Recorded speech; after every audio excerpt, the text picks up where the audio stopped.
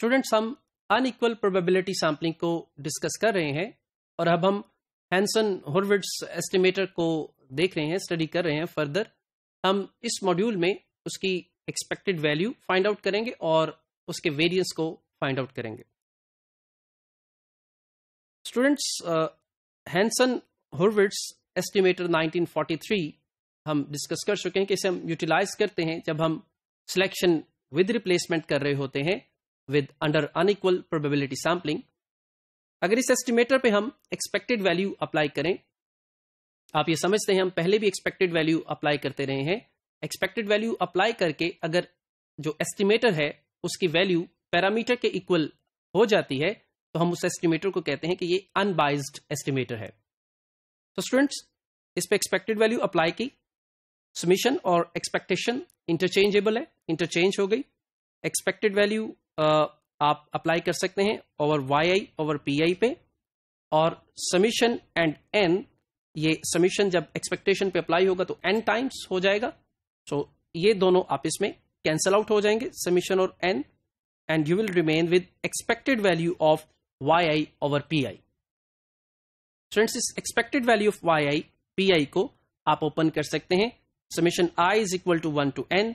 Y I over P I into P I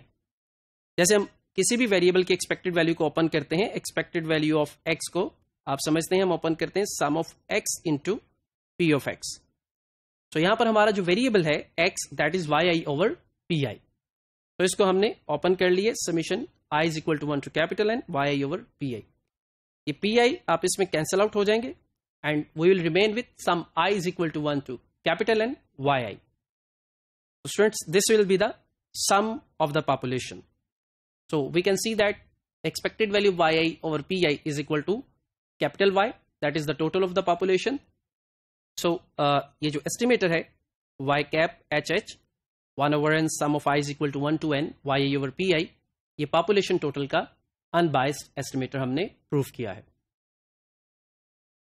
students इस estimator के variance को find out करने के लिए आप इस एक्सप्रेशन पे वेरिएंस अप्लाई कर देंगे तो आप इसको इस तरह से लिख सकते हैं। Variance of Y cap H H is equal to one over N square constant पर तो कॉन्स्टेंट जब वेरियंस से अप्लाई होता है तो स्क्वायर हो जाता है one over N square variance of sum of I is equal to one to N Y I over P I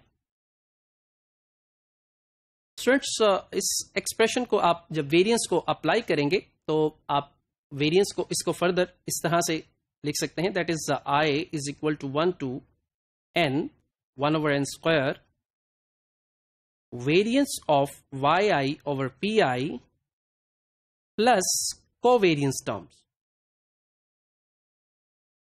students ये कोवेरियंस टर्म्स कोवेरियंस ज़ीरो होगा बिकॉज़ ये टर्म्स जो है इंडिपेंडेंट है. So you will remain with variance of Y I over P I तो आपके पास जो टर्म्स आएँगी that is one over N square sum of I is equal to one to small N variance of Y I over P I friends ये sum again N times हो जाएगा N square तो one over N हमारे पास बाकी रहेगा और उसके साथ साथ variance of Y I P I होगा। जिसे हम फर्दर इस तरह से लिख सकते हैं। Since variance of Y I over P I इसे अगर आप बाय डेफिनेशन लिखना चाहें तो आप इसे कुछ इस तरह से लिख सकते हैं variance of Y I over P I को that is variance of Y I over P I is equal to expected value of ये बाय डेफिनेशन हम लिखते हैं वेरियंस को Y I over P I minus Y square और sir जब इस expected value को आप ओपन करेंगे तो इस एक्सपेक्टेड वैल्यू को आप कुछ इस तरह से ओपन कर सकते हैं। That is sum I is equal to one to N P I and whatever the variable is जिस पर एक्सपेक्टेड वैल्यू अप्लाई की है। तो स्टूडेंट्स इस तरह से आप इस एक्सप्रेशन को वेरियंस के इस एक्सप्रेशन को फाइंड आउट कर सकते हैं। फर्दर ऑल्टरनेटली हम इस एक्सप्रेशन को वेरियंस के एक्सप्रेशन को इस तरह से भी लिख सकते हैं जो कि हैंसन हुरविट्स एस्टिमेटर का वेरियंस एक्सप्रेशन है। तो स्टूडेंट्स दी हम इन एक्सप्रेशंस को फर्दर एग्जाम्पल्स में वेरियंसिस के इन एक्सप्रेशन को फर्दर एग्जाम्पल्स में यूटिलाइज करेंगे।